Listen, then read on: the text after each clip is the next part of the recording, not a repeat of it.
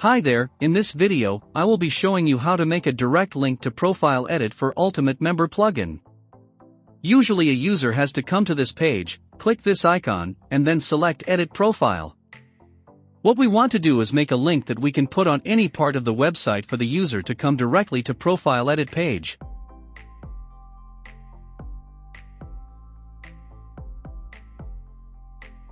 This is how the link to Profile Edit in the browser looks like, but we cannot use this link, because we can't replace the username with a dynamic link.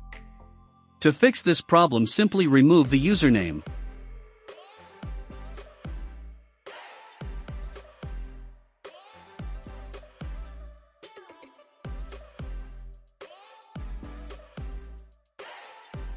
I will paste in the browser to see if it works.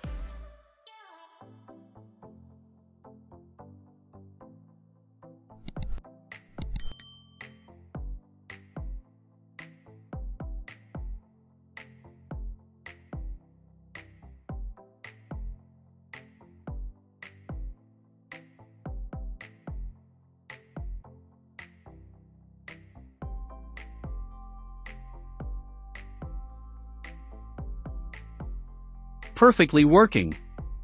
Thanks for watching. Don't forget to like and subscribe.